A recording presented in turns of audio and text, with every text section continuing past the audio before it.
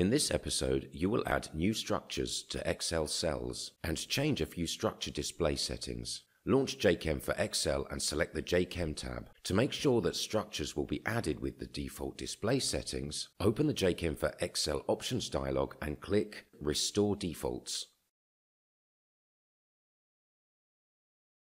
Now hit the Add Edit button, which opens the Marvin Sketch Editor embedded in JChem for Excel.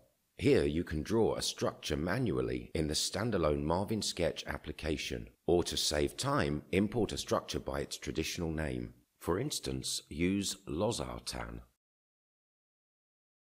After pressing OK, the structure will be displayed in the Excel cell with the standard CPK coloring. If the default structure size looks too small, you can enlarge it by dragging the right side of the column and the bottom side of the row. I can visualize the structures not only in Marvin Sketch, but also can use the editor pane, which is useful when dealing with hundreds of structures on the sheet and you would like to investigate them one by one.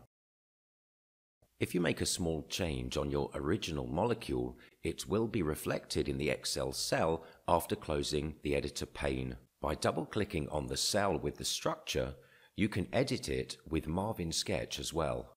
Now, if you would like to change a few display settings, for example, or don't need any coloring in the molecule, or you would like to see all hydrogen atoms on my structure and add numbering to all atoms, you can open Options again, select the Structure Display menu on the left side, and change the color scheme option from the default CPK to monochrome, the implicit hydrogens option from on hetero or terminal setting to all, and the atom numbers option from off to atom numbers. After pressing OK, the colouring is removed, hydrogens are added, and numbering is displayed on all atoms in the molecule. If there are multiple structures on the Excel sheet, these display changes will be applied to all of them. Now, restore defaults again, and all your display settings will be changed back to their default state, and these will be applied on all structures on the sheet. This video was about adding new structures to Excel cells with the embedded Marvin Sketch application and changing a few structure display settings.